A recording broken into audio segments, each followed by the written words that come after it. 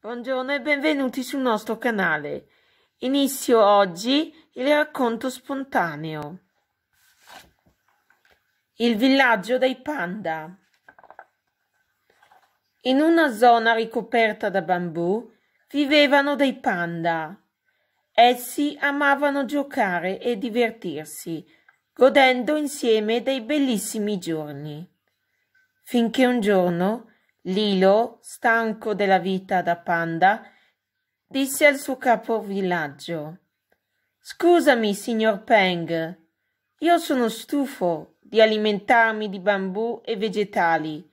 Desidero conoscere altri alimenti, se possibile. Potresti consigliarmi quali? Il signor Peng rispose al giovane panda Ragazzo, noi siamo panda, siamo nati vegetariani. Non possiamo nutrirci di altro.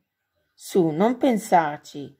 Essere un panda è entusiasmante e dovresti esserne fiero. Lilo, ascoltando le sagge parole di Peng, ritornò dai suoi amici, orgoglioso di essere un panda. Bene, vi ringrazio dell'ascolto Lasciate un like se vi è piaciuto. Grazie alla prossima. Ciao da Simone. Ciao.